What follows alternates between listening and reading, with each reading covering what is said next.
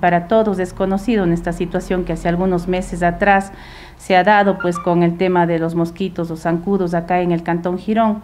Una situación que a lo mejor pues escapa del alcance de cada una de las instituciones y personas como tal, y tal es el caso también pues del gobierno municipal, ¿no? Son situaciones que se vienen dando, pero no por ello el municipio pues eh, no ha intervenido en este aspecto.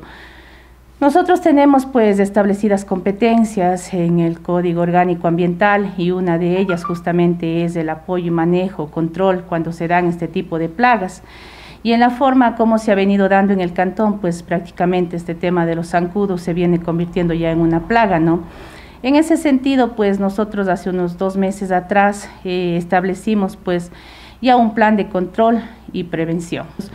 Hemos solicitado que se haga un control permanente con una frecuencia, una parte de cada 15 días, las fumigaciones, roce de malezas a nivel de las plantas. También, eh, aunque existe y realmente no está determinado de que sea una incidencia directa o esté relacionado directamente con la existencia de nuestras plantas de tratamiento de aguas residuales, tanto en el sector de Pambadelo o Churingualo, sin embargo, entendemos que el hecho de disponer de agua en esa zona eh, son medios propicios ¿no? para que se vayan desarrollando estas especies. En el tema del producto, hemos estado utilizando Aquatrin, eh, es un insecticida recomendado, diríamos así, para específicamente, ¿no es cierto?, tanto lo que es el tema de, de, zancudos, moscas, mosquitos.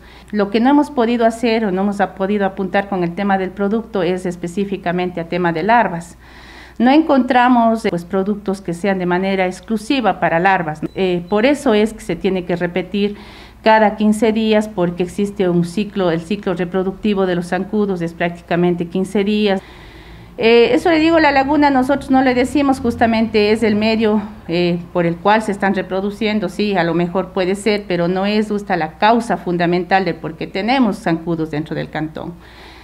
Hay que ir entendiendo una situación para la ciudadanía, ¿no? Eh, que está vinculado mucho más allá, mucho más allá, eh, incluso con temas del mismo tema de cambio climático, el tema de temperaturas, de incremento de temperaturas, el tema de lluvias tan fuertes que tenemos, entonces son condiciones medioambientales que, que se generan y son propicias para que se vayan desarrollando este tipo de insectos dentro del cantón. Nosotros estamos haciendo todo lo que está a nuestro alcance con el tema de manejos, controles. Sin embargo, pues como yo les digo, hay situaciones que salen de nuestro alcance y desde el punto de vista, como le digo, de las condiciones de medio ambiente sobre todo. Condiciones medioambientales que ninguna institución más que nosotros mismos como seres humanos, cuando hagamos conciencia, de qué es lo que estamos haciendo cada día con nuestro planeta, ¿no es cierto? Entonces, todos estos aspectos de incendios forestales, deforestaciones, de quema de bosques, de chaparros, todo esto son consecuencias que poco a poco vamos mirando, ¿no es cierto?, el tema de incidencia, sobre todo en estos cambios medioambientales que se están dando como parte del cambio climático.